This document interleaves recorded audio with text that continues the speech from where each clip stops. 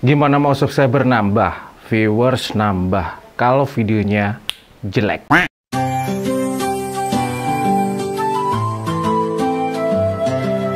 Gimana dong bang, mau video bagus tapi hanya pakai handphone kentang?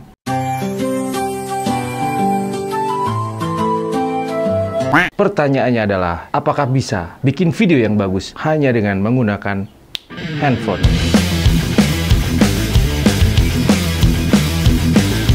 Sebenarnya video bagus atau tidak bukan terletak pada alat. Alat itu hanyalah alat everybody. Mau pakai kamera, mau pakai handphone. Karena sebenarnya tolak ukur dari video bagus atau enggaknya itu bukan pada alat. Bukan pada handphone atau kamera. Tolak ukurnya ada di sini. Kotaro Creative Hai everybody, selamat datang di Kotaro Kreatif dan masih bareng sama saya Wawan Kotaro dan di video kali ini kita bakal share bagaimanakah caranya bikin video hanya dengan handphone tapi hasilnya bisa bagus dan tidak kalah dengan kamera yang mahal. Caranya bagaimana? Sebelumnya jangan lupa untuk subscribe dan juga nyalakan loncengnya supaya kalian tidak jadi youtuber abal-abal, supaya kalian jadi youtubepreneur. Di video kali ini kita bakal share bagaimanakah caranya bikin video hanya dengan menggunakan handphone. Pencahayaannya bagaimana bang? Nah ini kunci dari sebuah video yang bagus atau tidak terletak pada pencahayaan atau bahasa kerennya adalah lighting. Oke, sekarang kita bakal kasih tahu caranya, tekniknya bagaimana caranya bikin video hanya dengan menggunakan handphone saja. Ya, handphone. Tidak usah modal yang lainnya, hanya handphone. Oke, everybody, ini adalah tips bagaimana bagaimana caranya bikin video dengan menggunakan cahaya yang alami alias cahaya ilahi everybody ya. Abaikan background yang yang tidak jelas kayak gini. Uh, ini mataharinya ada di atas dan kita pas di bawah matahari gitu ya. Ini jam jam 9 jam 9 pagi dan ini cahayanya terlalu keras menyinari wajah kita jadinya ada mata panda di sebelah sini. Ada bayangan di sini juga bayangan dan ini sangat jelek sekali kalau misalnya dilihat di video everybody ya. Nah caranya bagaimana? Cari yang namanya tempat berteduh untuk menghalangi cahaya kayak gini. Jadi kita ke belakang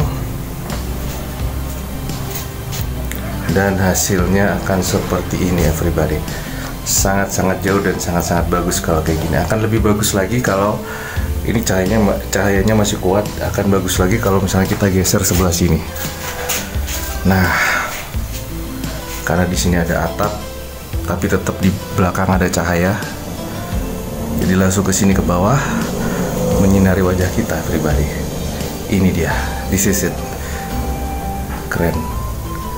Gambarnya tambah bagus dan vlognya jadi tambah enak dilihat dan wajah anda akan semakin tampan Oke, yang penting jangan sampai dilawan. Nah, ini adalah kesalahan-kesalahan youtuber pemula. Kalau misalnya pakai kamera, itu cahayanya dibelakangi seperti ini. Yang terjadi adalah backlight, backlight, ya.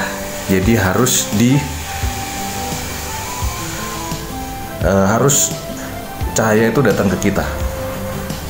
Jangan sampai cahaya ada di belakang kita seperti ini. Backlight jelek banget. Kelihatan kalau pakai handphone. Jelek banget amatiran. Kalau misalnya seperti ini so professional. Dan bagus udah kayak kelihatan kamera mahal ya. Padahal handphone murah ini pribadi handphone bekas dan murah everybody. Oke? okay?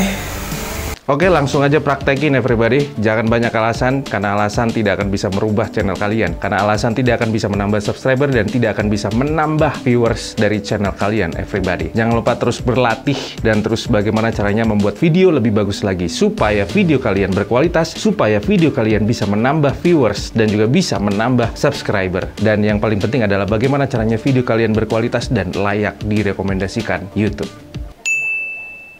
Jangan lupa belajar karena hidup untuk belajar. Tidak ada YouTuber yang gagal, yang ada adalah YouTuber berhenti upload. Wawan Kotor out. Bye.